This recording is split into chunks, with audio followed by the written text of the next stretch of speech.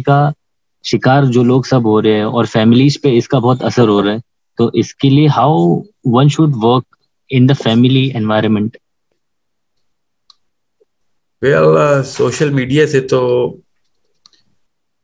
मतलब जो घर वाले सोशल मीडिया से इस्लाम सीखते हैं ना तो उसके घर में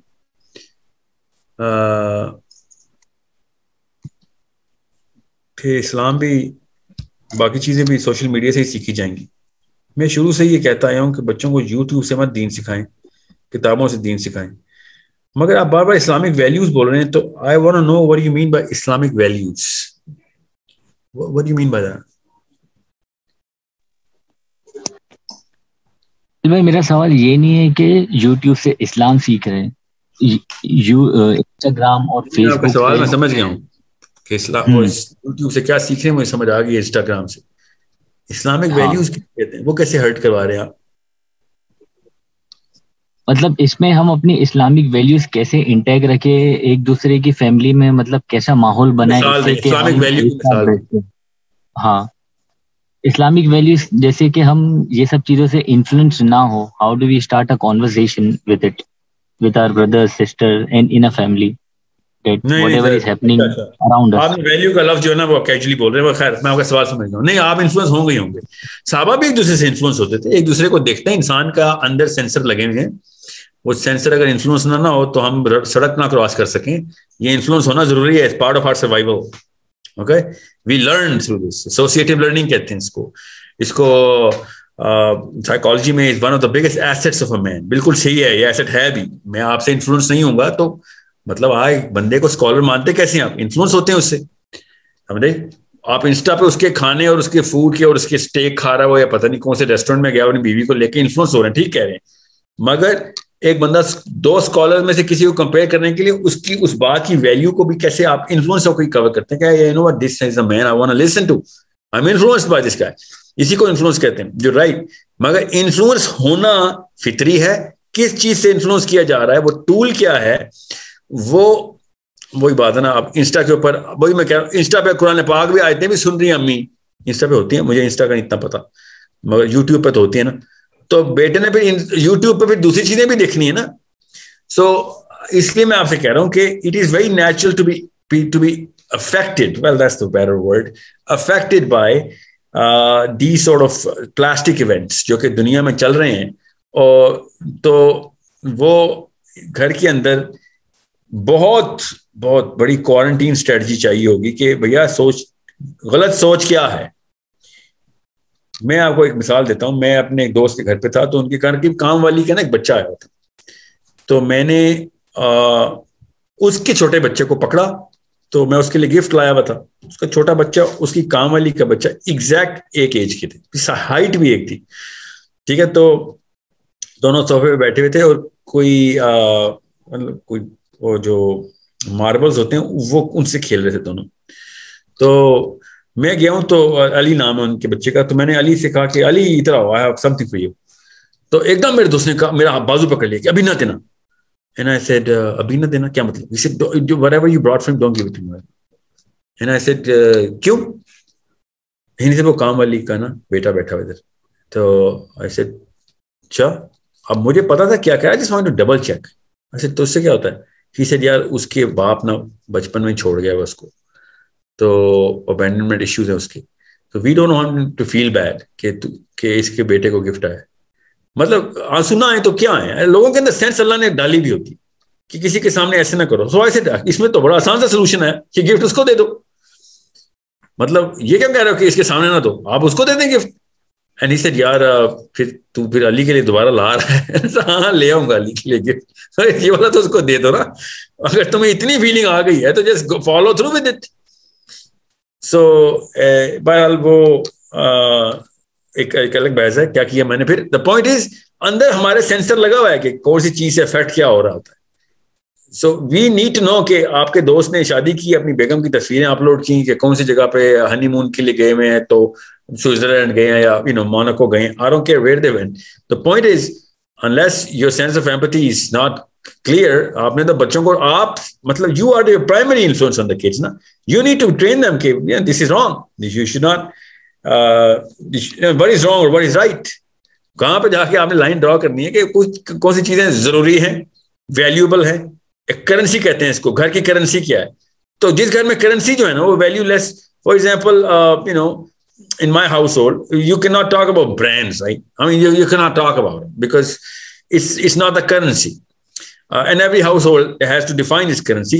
आपने कौन से ब्रांड के कपड़े पहन लिया कौन से ब्रांड के फर्नीचर आ गया is absolutely not a uh, what's the word a, a source of fascination कौन सी गाड़ी ले ली है it's not a source of fascination we had to kill it by design fascinate की नहीं होते आप जिस चीज से फैसिनेट होते हैं वो करेंसी होती है मतलब जो कैश हो सकती है ना चीज़ वो उसकी वैल्यू है वो करेंसी आपकी। आप as a father make sure you and as a mother और ज़्यादातर ये माओ के पास ताकत होती है। करेंसी कौन सी किस चीज़ को करेंसी में मतलब किसकी क्या करेंसी डिफाइन की गई है घर की? सो so, अगर आपके बच्चे देख रहे हैं या आप देख रहे हैं आपके दोस्त अपनी बेगम को यू नो मानो को लेके गया हुआ है you know for for honeymoon you should be oblivious of the fact कि क्यों ले, क्या, कहाँ के ले गया, किधर ले गया है, और उसका मतलब क्या है? या फिर वो उल्टी साइकिल है कि क्या तुम्हें बताऊँ कि कहा मैं मैं कहाँ जा रहा हूँ? मैं मालदीव जा रहा हूँ just because I I missed out my honeymoon I gonna go to Maldives for honeymoon now so, you know, if i'm saying it, that means i think it's such a big deal. It's a very mighty deal.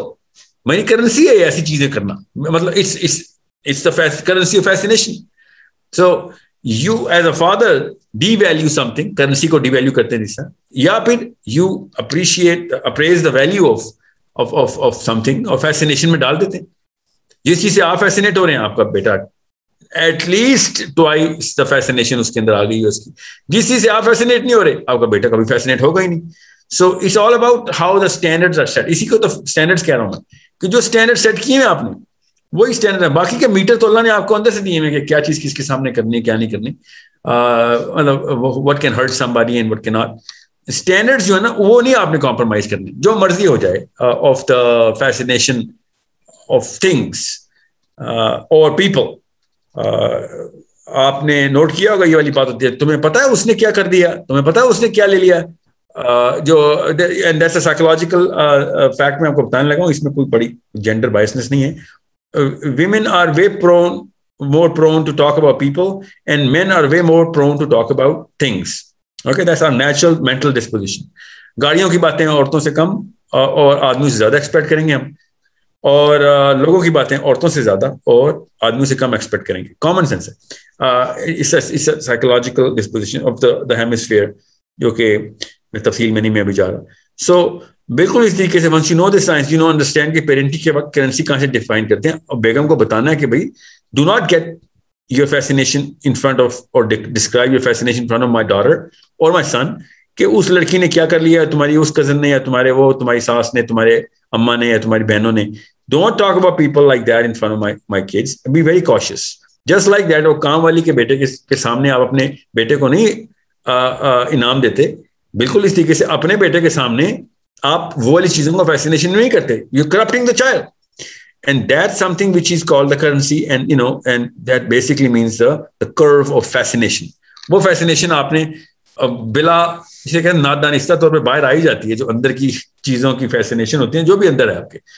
वो वो गुजरते गुजरते आप गाड़ी को ऐसे देख रहे होते हैं। बेटा आपका देख रहा होता है रेस्टोरेंट बैठा होगा गाड़ी गुजरी और बाप ऐसे करके देखना शुरू हो गया गाड़ी को।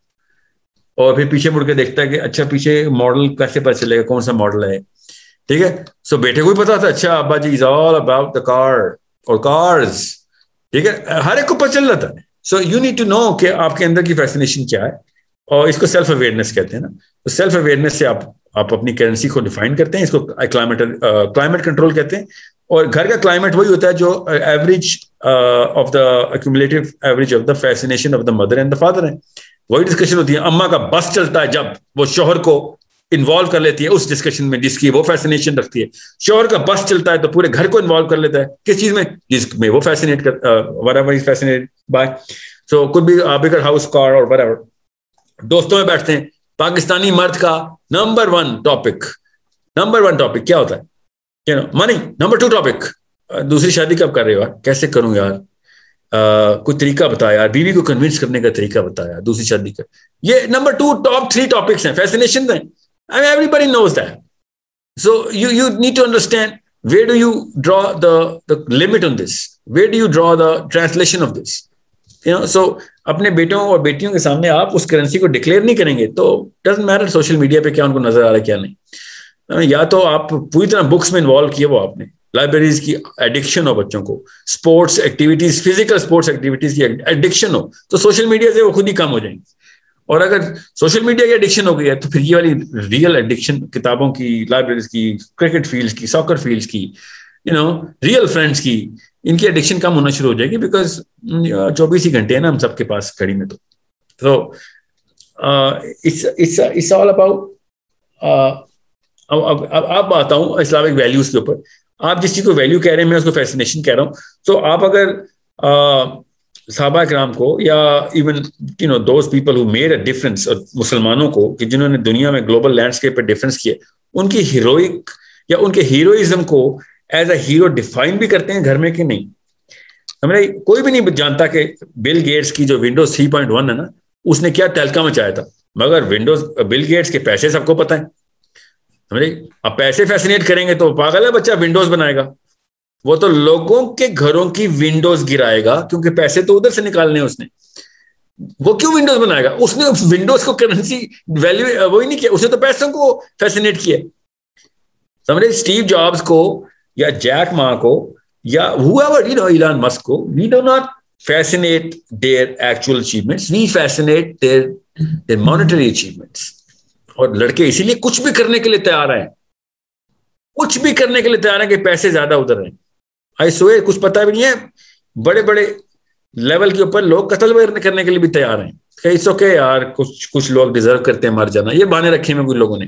खैर है करे is a bad guy is a bad guy so I kill them समझ रहे तो पैसे आएँगे घर पे। रूल तोड़ने के बाद कोई मसला ही नहीं। तो और बेटी को भी वही वाली फैसिनेशन थी अपने माँ बाप के घरों से करेंसी के लेके आई थी। तो वो कहती है हाँ ठीक है by the end of the day पैसे तो कमाता ही है ना। मुझे नहीं पता कैसे कमाता है मगर पैसे तो कमाता है। अपनी तरफ़ से ठीक आदमी है पूरी कोशिश और बड़ा मेहनती है बड़ा मेहनती आदमी है। आ, दिन रात मतलब पैसे कमाता रहता है। सो वैल्यूज़ तो तब बनती है जब उसकी स्टैंडर्ड्स ठीक होंगे। अब वो पैसे को वैल्यू कर रहे हैं तो दो नंबर आदमी की मेहनत को वो हार्ड वर्क के अंदर लेके जा रही है बीवी। और एक बंदा जो है वो दो नंबरी को भी हार्ड वर्क में डाल रहा है। तो चोर भी तो मेहनत ही करते हैं घर बैठ के तो कोई चोरी नहीं करता। So it's it's it's don't we can just casually use the word values किस चीज़ को वैल्यू कर रहे हैं? असली चीज़ वो है। सो so, वो तो सोशल मीडिया हो ना हो तबाही तो फिर भी आनी है। बट सोशल मीडिया ने एनहेंस कर दिया इफ़ेक्ट को। कोई शक नहीं। Let's take the next question